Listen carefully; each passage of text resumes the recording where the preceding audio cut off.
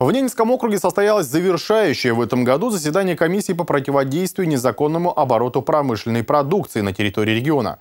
Подробнее расскажет Наталья Кислякова. Первый вопрос на заседании комиссии о незаконном обороте алкогольной продукции. По итогам 11 месяцев 2019 года было проведено 56 проверочных мероприятий и составлено 27 протоколов. У нас в текущем году, вернее, начну с того, что в 2017 году у нас были изменения в уголовном законодательстве, где у нас э, за повторную реализацию алкогольной продукции физическими лицами была введена уже уголовная ответственность. И в текущем году по данным фактам у нас возбуждено два уголовных дела в отношении uh физических лиц за неоднократность. Uh То есть два лица в этом году у нас. Ну, это в основном у нас те, кто занимаются, так сказать, ночной доставкой. Что касается правонарушений в сфере незаконного оборота промышленной продукции, проводился ряд проверок, которые коснулись магазинов, медицинских и образовательных организаций, точек общепита и пищевой промышленности, станций технического обслуживания предприятий сферы ЖКХ и салонов красоты. В ходе проверок фальсифицированных, контрафактных и запрещенных к ввозу на территории Российской Федерации товаров не выявлялось. Управлением за 11 месяцев в отношении виновных лиц составлено 163 протокола об административных правонарушениях по 20 статьям КОАП РФ.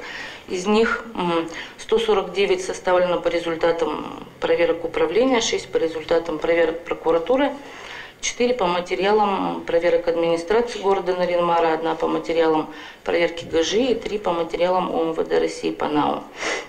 По административным делам вынесено 157 постановлений, в том числе управлением 130. Из них назначено 25 предупреждений устных замечаний и 105 штрафов.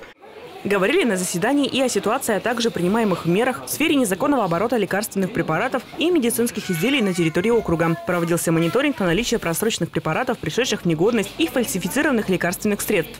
Организован мониторинг безопасности лекарственных препаратов и медицинских изделий для того, чтобы предотвратить попадание на территорию округа э, э, фальсифицированных лекарственных препаратов и медизделий, все фарм- и медорганизации в основном работают с крупными поставщиками, имеющими хорошую репутацию, и до сегодняшнего момента мы не, получали на, в медицинских организациях фарм-организации фальсифицированные лекарственные препараты.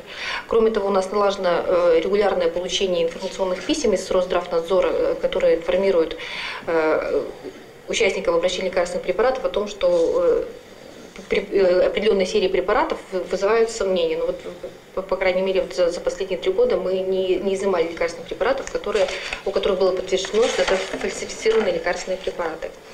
На заседании также рассмотрели вопросы о работе участковых по профилактике незаконного оборота промышленной продукции на селе.